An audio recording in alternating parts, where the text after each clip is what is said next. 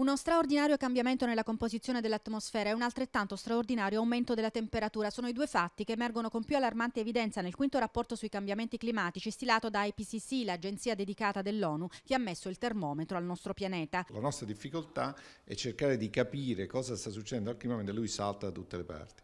Quello che noi sappiamo adesso è che questo aumento di temperatura non è facilmente spiegabile con i salti naturali del clima, quindi qualcuno lo sta spingendo e chi sta spingendo siamo noi con l'aumento dell'energia carbonica. Improntare decisamente nel senso della sostenibilità le politiche di sviluppo è imperativo categorico, quindi, e dello step successivo del lavoro svolto con simulazioni e la predisposizione di modelli di studio dai diversi centri di ricerca che hanno collaborato al report.